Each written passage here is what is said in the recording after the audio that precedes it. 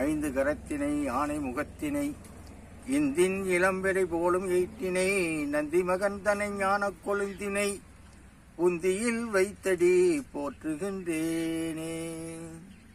தனம் தரும் கல்வி தரும் ஒரு நாளும் தளர்வரியா மனம் தரும் தெய்வ வடிவம் தரும் நெஞ்சில் வஞ்சமில்லா இனம் தரும் நல்ல எல்லாம் தரும் அன்பர் என்பவர்க்கே கணம் தரும் பூங்குழலால் அபிராமி கடை கண்களே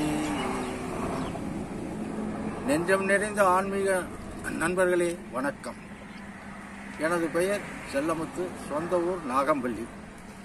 நான் இந்த சாமி சித்தரை சுமார் பதினைந்து ஆண்டுகளாக கண்காணித்து வருகிறேன்.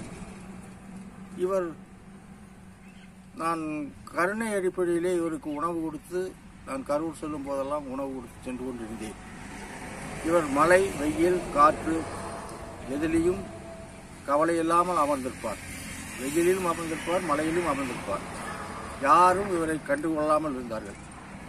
நாங்கள் சில அன்பர்கள் மாத்திரம் இவரை தினசரி போகும்போது உணவு கொடுத்து பார்த்து கொண்டு வந்தோம். நாள்கள் பல ஓடின வருடங்கள் பல ஓடின. அவர் இந்த இரண்டு ரோடுகளுக்கும் இடையிலே சென்ட்ரல் மீடியத்திலே அரளி செடியின் அடியில் அமர்ந்திருப்பார். யாருகிட்டும் பேச மாட்டார் எது கொடுத்தாலும் வாங்க மாட்டார். இப்படியே ஓடிக்கொண்டிருக்கிற காலத்தில் கொஞ்சம் ஒரு ரெண்டு மூன்று வருடங்களுக்கு முன்பு இவர் நிர்வாண நிலையிலே அமர்ந்திருந்தார். இந்த நிர்வாண நிலையை பார்த்து மக்கள் அனைவரும் பேப்பர் தந்தி நியூஸ் இந்த மாதிரி நியூஸ்களை கேள்விப்பட்டு கூட்டங்கள் அதிகமாக வர ஆரம்பித்து விட்டன. இந்த கூட்டத்தை கண்ட்ரோல் பண்ண முடியாமல் அதிகாரிகள் இவரை வேற இடத்தில் மாற்றி வைக்க வேண்டும் என்று வேண்டினார்கள். ஆனால் ஊர் பொதுமக்கள் எல்லாம் சேர்ந்து இவரை தற்சமயமாக இங்கு ஒரு குடில் அமைத்து அங்கே வைத்திருக்கிறோம். தினசரி நிறையான பக்தர்கள் வந்து தரிசனம் செய்து கொண்டு விபூதி கொடுக்கிறார் வாங்கி கொண்டு சென்று கொண்டிருக்கிறார்கள். இது உண்மை நிலை. வேற எந்த பொதுமக்களுக்கோ புறம்பா எதுவும் இங்கு நடக்கவில்லை.